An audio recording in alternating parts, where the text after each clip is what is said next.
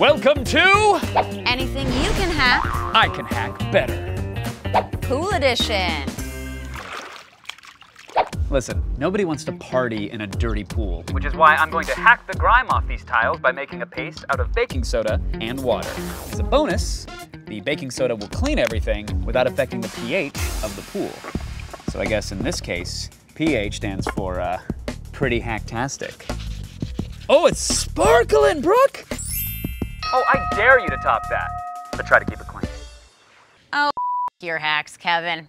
You know, I love nothing more than a clean pool, but I hate making my arm tired from scrubbing it manually. So I just let an old electric toothbrush and some white vinegar do all the grunt work for me.